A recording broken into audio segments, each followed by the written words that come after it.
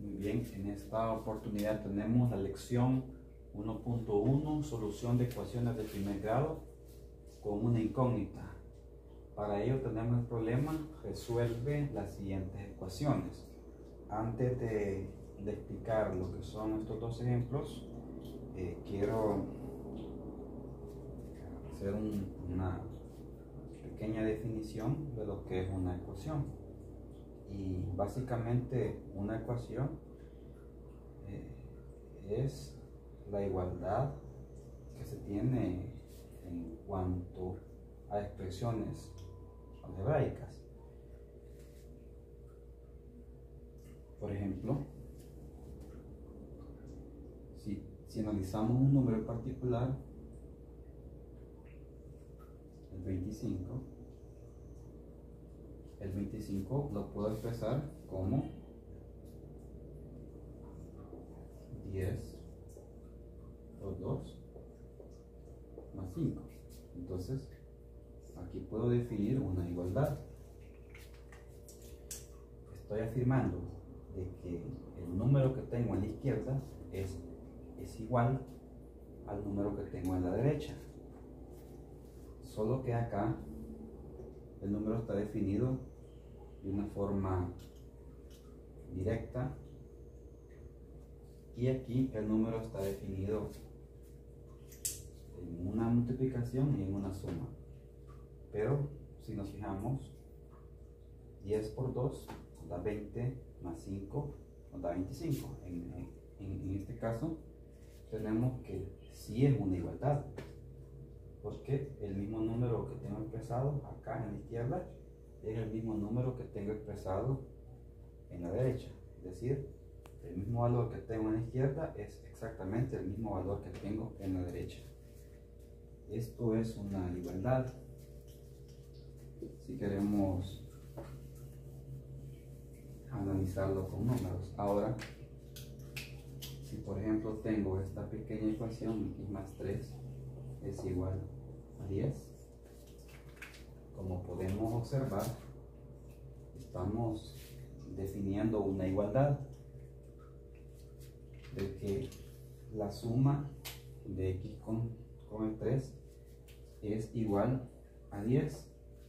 Entonces, para que esta igualdad sea cierta, necesariamente esta x debe tener un valor específico de tal modo que ese valor al sumarlo con el 3 se me haga un 10 y por lógica eh, sabemos de que, que ese valor prácticamente es 7 entonces si sumo 7 más 3 llego a 10 entonces esto implica de que para que esta igualdad sea cierta o se cumpla necesariamente la x tiene que tener el valor de 7 es decir que x debe ser igual a 7 x debe tomar exactamente este valor. Si x toma este valor entonces la igualdad es cierta. Porque digamos que en la derecha tenemos el valor de 10 y eh, perdón, en la izquierda tenemos el valor de 10 y en la derecha también. Entonces se cumple la igualdad. Pero como podemos ver en esta ecuación x es una variable que puede tomar cualquier valor pero para que la igualdad se cumpla necesariamente la x debe tomar únicamente el valor de, de 7 si la x toma otro valor entonces la igualdad no se cumple esto nos va a servir para poder eh, resolver lo que son los problemas que tengo definidos ahí. Entonces, eh, prácticamente en el primer ejemplo tenemos una ecuación cuya variable o cuya incógnita es x. Estamos definiendo de que el valor que tengo en la izquierda es exactamente el valor que tengo en la derecha. Solo que aquí estamos expresando un valor en forma de polinomio y aquí también lo estamos expresando en forma de polinomio. Pero lo más recomendado es realizar las operaciones que están indicadas para poder eh, simplificar esas expresiones y llegar a la respuesta. Para este caso vamos a, a desarrollar esta multiplicación. el 4 por la x y el 4 por el menos 2. Este 3 solamente lo voy a bajar.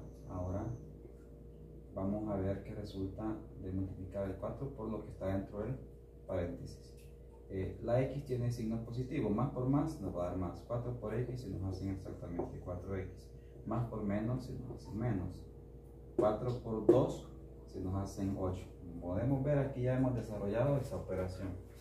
Igual modo haremos en el lado izquierdo, aquí tengo el menos 3 y este menos 5 multiplica lo que está dentro del paréntesis. Esta x es positiva y primero multiplicamos los signos, menos por más nos hace menos. 5 por x llegamos a exactamente a 5x. Menos por menos es más y 5 por 5 llegamos a 25.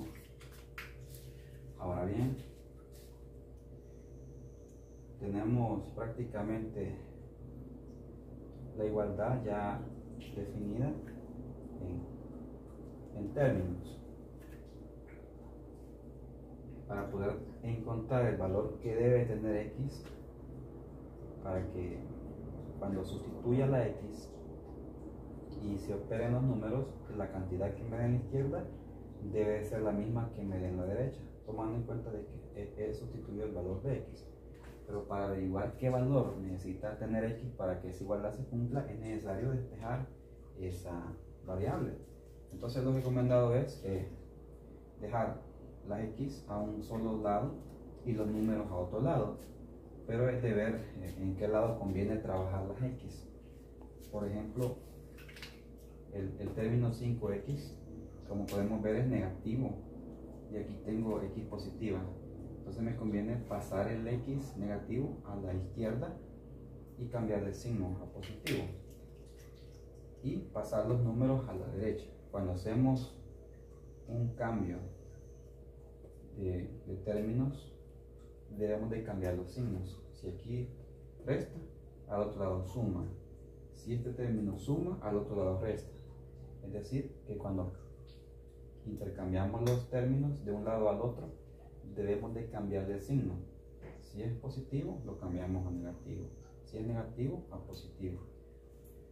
Entonces, voy a dejar acá las, las X esta 4x la mantengo aquí como tal. Ahora esta 5x negativa la paso para la, izquierda sumando.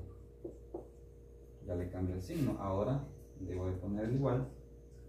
Y del lado derecho ya tenía menos 3. Ya tenía al 25.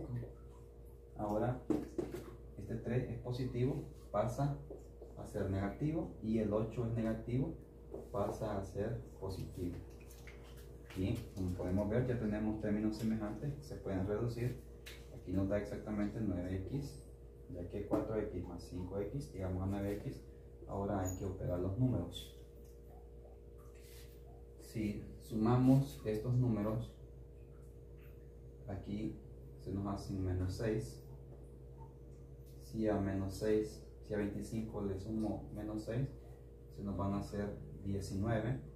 Si a 19 le sumo 8, se nos dan exactamente 27. Como podemos ver, eh, ya tenemos definida eh, la igualdad en, expresiones más pequeñas. Eh, aquí estamos definiendo de que 9x es igual a 27. Por lógica, sabemos de que si a x le ponemos el valor de 3, 9 por 3 es 27. Entonces sabemos de que x debe de valer 3 para que esta igualdad ya reducida se cumpla. Entonces, pero para poder despejar la x, como podemos observar, el 9 está multiplicando en el lado izquierdo. Ese 9 pasa a dividir al lado derecho y de esa forma la x nos queda despejada. 27 sobre 9, si hacemos la división, encontramos de que x es igual a, a 3. Entonces, lo podemos sustituir aquí si queremos. X debe de valer 3 para que la igualdad se cumpla. Ya que lo vimos hace un momento, si multiplicamos 3 por 9 es 27. Nos da 27 en la izquierda y 27 en la derecha. De igual forma, si nosotros sustituimos el valor de, de x, que es 3, en esta expresión y al final operamos los números, sumamos, tendremos que llegar a la misma cantidad en, en el lado izquierdo como en el lado derecho, porque ya hemos encontrado el valor de x. Ahora bien, en el segundo ejemplo tenemos también una, una ecuación, solo que esta tiene números decimales, pero prácticamente haremos lo mismo. Eh, vamos a dejar las x a un lado y los números al otro lado. Como podemos analizar, eh, tenemos acá la variable x y aquí también la tenemos. Pero hay que ver cuál de estas dos es mayor. Prácticamente 0.2 es mayor a 0.17. Entonces, eh, y como es positivo, me conviene trabajar entonces eh, la x a la izquierda. Entonces voy a proceder a ordenar los términos. Voy a dejar acá a 0.2x. Ahora este término 0.17x es positivo al pasarlo a la izquierda se convierte en negativo, menos 0.17x. Pasa a restar. Ahora en el lado derecho ya tenía a 0.21, lo solo transcribo. Ahora este número negativo lo paso a sumar o de cambio de signo, 0.03.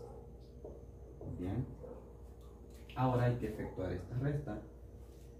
0.2 menos 0.17. Bien, entonces si realizamos lo que es esta resta, nos va a quedar exactamente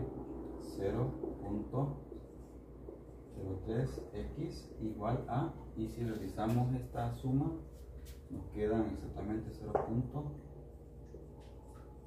240. Ahora este 0.03 está multiplicando, pasa a dividir. Y de esa manera nos queda despejada la x. 0.240 entre 0.03. Aquí podemos usar la calculadora y si realizamos esta división encontramos de que x es exactamente 8. Entonces, eh, si queremos comprobar la ecuación, si hemos encontrado el valor correcto, lo que debemos de hacer es que en la expresión inicial que nos dan, eh, debemos de sustituir el valor de x. 0.2 eh, por, 8 menos, menos 0.3, eh, aquí nos va a dar un número. Y ese número que nos dé aquí es exactamente el número que nos debe dar a la derecha cuando de igual manera usamos el valor que hemos encontrado para x, multiplicamos 0.17 por ese valor y le sumamos 0.21. Entonces, esa es una manera de comprobarlo y prácticamente eso es lo que hace aquí. Gracias.